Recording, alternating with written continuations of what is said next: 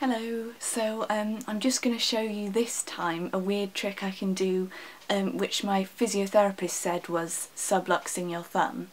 So here it is. I'll try and show you from a different angle. Um, and you can see that it's sort of jumping in and out of the joint.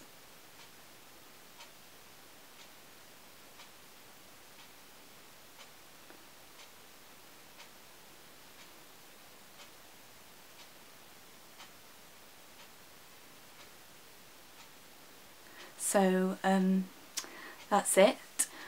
Um, a lot of people can do this if they've got um, a hypermobile uh, joint in their thumb and it doesn't necessarily mean you have EDS but it is one of the signs of EDS um, and together with a bunch of other things um, could sort of make up a diagnosis of EDS.